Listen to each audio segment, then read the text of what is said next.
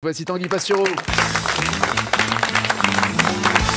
Hier, en rentrant chez moi, j'ai regardé le JT de 13h de TF1. Or, notre Leïla, Queen Kadour, est sur France 2, donc Ouais. je pense que je mérite d'être hué. Ah, ça fait du bien, j'ai l'impression d'avoir fait quelque chose de très très sale.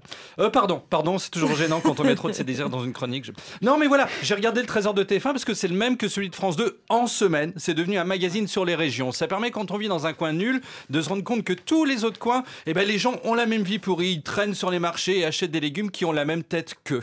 Hein, parfois on voyait l'image, un mec avec dans la main un oignon, on a envie de lui dire vieux, je suis physionomiste, enfin c'est ton fils.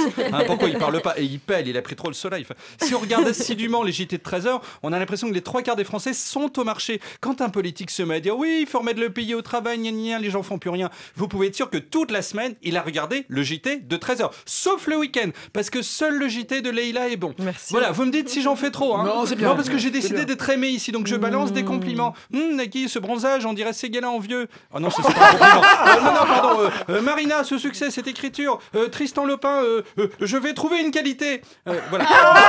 Donc j'ai regardé le JT de 13h de TF1, présenté par Julien Arnaud en remplacement de Marie-Sophie Lacaro, absente depuis des mois pour raison de santé. En fait, Julien Arnaud, c'est le Tristan Lopin de TF1. Tristan s'est installé à la bande originale en me remplaçant, alors que j'avais le Covid. C'est fou la vie. Ça veut dire que s'il y a deux ans et demi, un pangolin n'avait pas fait l'amour à une éprouvette dans le trou du cul de la Chine, et ben Lopin on serait réduit à végéter avec ses quoi 300 000 abonnés sur Insta, ses deux Olympiens en janvier. Il me doit tout.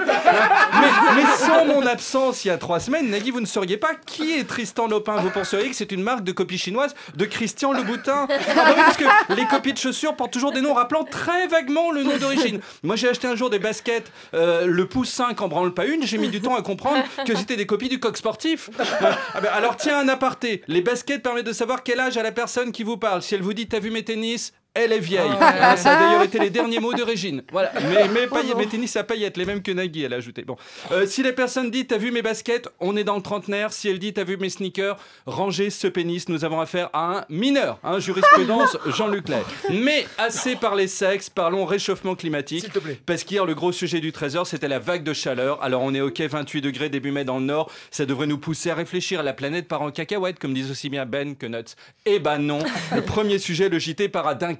Grand soleil. Les gens hébétés errent dans les rues en murmurant d'où provient cette lumière inhabituelle? Certains se mettent à croire en Dieu pour vous dire à quel point ils sont barrés. Parce que si Dieu existait, il n'aurait pas permis la doudoune sans manche. Hein, il nous aurait balancé la comète de Halley dans la tête le jour où le premier con en aurait acheté une.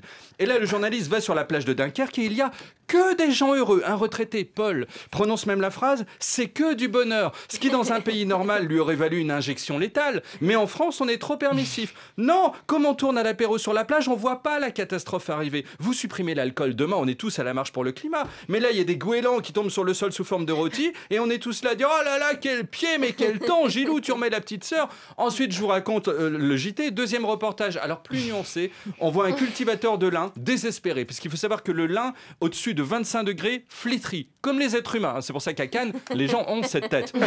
Hors festival, euh, parce que pendant le festival, il y a une arrivée massive de personnes qui se mettent de la crème rajeunissante depuis l'âge de 6 ans. Hein, à leur entrée en CP, on dirait des fœtus. Donc en gros, le lin est en train de griller. Alors il y a des avantages, puisque plus de lin veut dire plus de chemise ni de pantalon en lin. Parce que c'est une matière horrible, ça froisse. Quand il met du lin, ton papier, on dirait un charpeil. Et en plus, on voit son slip à travers le fut.